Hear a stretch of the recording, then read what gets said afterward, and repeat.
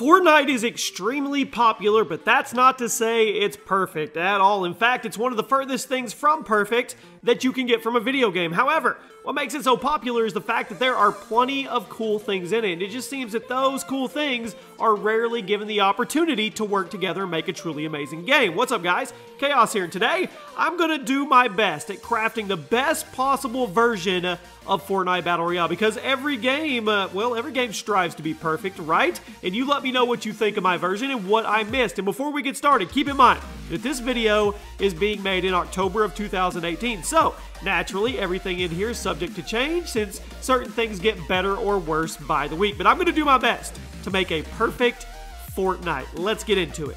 The first thing that I would do is simple.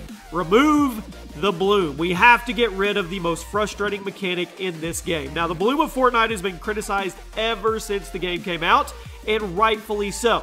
Instead of having standard recoil mechanics that can be learned and adapted to like every other successful shooter ever, Epic Games decided to make the shooting in Fortnite almost completely RNG by giving every gun random recoil in the form of bloom. This means that a great player can go up against a terrible player, and a good player can get absolutely annihilated because they got unlucky with the bloom, while the bad player just happened to laser them. Now, we all know why bloom is still in the game. It's a mechanic in place to defend those casual players and keep that skill gap from getting bigger and driving the younger crowd away. However, I don't agree with this logic at all. After all, Call of Duty has been one of the best selling games in the world year after year, and they don't have RNG gunfighting. And it's pretty strange how Epic Games is putting millions and millions of dollars into competitive Fortnite tournaments, but they still insist on keeping a mechanic that actively makes the game less competitive and less skill based. The bloom in Fortnite is the first thing to go.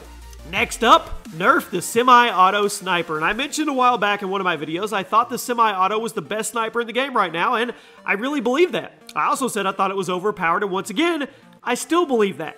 The semi-auto sniper is way too good right now thanks to the high base damage and the absurd two and a half times headshot multiplier. I know that every sniper has that same multiplier, but every other sniper in the game can't be spammed the way the semi-auto can be. And I'm sure you've noticed in the last few weeks how much people are just sitting back and spamming this thing. Personally, I think the base damage of this gun needs a slight nerf. Maybe drop it back to 68 and 70 damage to the body, and then reduce that headshot multiplier to at least just two times. This will make spamming less effective and also encourage players to pick up the bolt or the hunting rifle instead of the semi-auto and actually have to get better with their aim instead of just spamming and getting unlucky. I'm running a huge Fortnite 15,000 V-Bucks giveaway the entire month. All you have to do to enter is like this video, be subscribed to the channel, turn on your notifications, and leave me a comment why you want to win with your Twitter handle attached. The winner will be picked at the end of the month. Next up, and I think one of these is going to happen sooner or later, vault the common and the uncommon pistols. Why, honestly, are these guns still in the game? The common and the uncommon pistols are two of the most useless guns in the game, and I think the funniest thing about them is the fact that the game itself totally agrees. After all, why do you think they are the only two guns that aren't available in chest? Even Epic knows how useless these things are, and they're still in the game. The common and uncommon pistols are outclassed by every other gun in the game, and if you drop into the map and get one of these things, it's pretty much just an automatic game over. Now, the suppressed pistols are pretty good right now thanks to their increased damage, but if you ask me, the common and uncommon pistols need to be vaulted and tucked away. They're honestly just taking up space in the loot pile at this moment. Next up, to make the perfect Fortnite, to craft this perfect game, is fix the hit detection. How long have ghost hits been in the game now? A few months? Why are they even still in there? Epic, I, I love you guys, I seriously do, but you need to fix the hit detection for the game. For those that aren't aware, Ghost hits are an increasingly common glitch where you shoot at somebody and the bullets connect with them, but for whatever reason, you don't do any damage. It's used to, I mean, it used to be believed that this glitch was due to two players just being slightly out of sync with each other's connection, but as time went on, it became clear that ghost hits are a problem with the hit detection, not the connection of the players. There is something weird with the game's programming that gives bullets a change of just I, they, I don't know. They don't do any damage, regardless of what's going on around them, and it needs to go. I have no idea how Ghost Hits has been in the game for as long as it has, but it needs to be addressed and it needs to be taken out. Now let's talk about the shotguns. Man, talk about I mean, these things are so controversial all the times. Give shotguns base damage. One of the most frustrating parts of Fortnite is the fact that you can shoot somebody with a blue pump shotgun point blank and only get 8 damage. This is because instead of using base damage like the other guns, the shotgun in Fortnite relies solely on the amount of pellets that hit the opponent, which that would be okay if the pellet spread wasn't completely random, meaning you can totally get the drop on someone, nail them at point blank with their body, totally taking up your crosshairs, and you still only do 10 damage because you got unlucky with the pellet spread. Now, I believe in order to fix this, Epic should take a page out of COD's book and give the shotguns a base damage and use the pellets as bonus damage. In case you didn't know, Call of Duty shotguns have a system in which shooting someone will do a base guaranteed damage, and then the amount of pellets that hit the enemy will tack on a little bit of extra damage. For example, shooting someone point blank with a 90 base damage plus maybe 2 damage per pellet. Or maybe at the mid range, it will deal 20 base damage with 1 damage per pellet. You guys get the idea. So, this would totally fix the inconsistencies of shotguns in Fortnite. It would make them much more skill based instead of luck based. After all, I know I'm not the only one who is tired of getting 8 damage point blank and then turning around and getting 1 pump. Next up, let's talk about building a little bit. We need to remove the build warping. It's another weird mechanic that has been in the game for a long time, and I don't understand why. Build warping is when you lay down a building piece with somebody standing in the middle of it so the hitbox of the piece doesn't load in until the obstruction leaves. This mechanic makes sense in the context of the game's design, but it also gave birth to the infuriating SMG spam meta as people would just hold forward, spray at your builds, warp through them, and kill you. And I think Fortnite should go back to the old building system in which you laid down a building piece and someone was obstructing it, the obstruction was pushed to either side of the build, depending on which side they were already mostly on. For example, if I build a ramp, and someone is standing in the middle of it, but 60% of them is above the ramp, the game would just push them to the top of my ramp. Now, this will make build fights a little awkward, but it would also get rid of that stupid SMG spam meta and eliminate build warping.